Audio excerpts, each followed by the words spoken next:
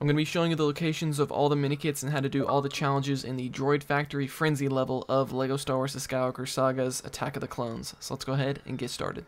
Okay, so after you get past the first part of the level where you have to shoot the Geonosians, you're going to drop down here to a conveyor belt. It's going to be a bunch of these smashers. The first smasher, we're just going to jump on top of it, and that'll give us access to minikit number one. So for challenge number one, we're going to continue down here to the last smasher. We're going to jump on top of it just like we did for the first minikit.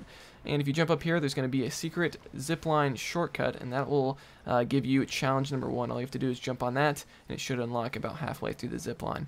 So now for minikit number two, we're going to go back a little bit. This is back where that uh, last smasher was, where the shortcut was. We're going to turn around, and here is a gold Lego object on this ladder. We're going to shoot that with a bounty hunter character, and we're going to blow that up, and that'll give us access to this ladder, which we can climb up and reach minikit number two at the back end here of this conveyor belt.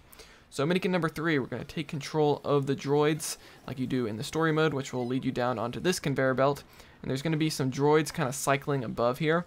And if you pay attention, one of them is going to have a mini kit on it, so just shoot the target and uh, with a blaster character, and you will get mini kit number three. That does repeat, so if you miss it, it will come back around again, so just wait a second, you'll be able to get that. So once you reach this area where you have a protocol droid panel, there's going to be a painting over here, and the painting is going to cycle between a few different things. Wait till it has a mini kit on it, destroy it, and then that will give you a buildable mini kit number four.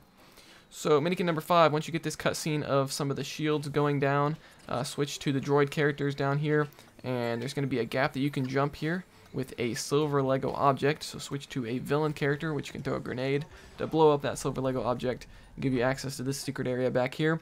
Switch to a grapple character, like a hero or an astromech droid, and grapple that, and you will get minikit number five. So we still have two challenges left. So switch back to your other characters, and there's going to be a whole bunch of Geonosians and droids.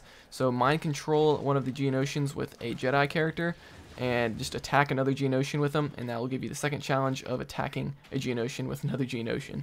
Um, so at the end of the level, when you have to save Padme, you're going to want to save her within 30 seconds to get this last challenge. So as soon as you get the cutscene, switch to an astromech droid, and go all the way down here, just follow the objective, grapple up, and uh, make sure you solve this puzzle here fast enough. It shouldn't be too hard to do it in 30 seconds.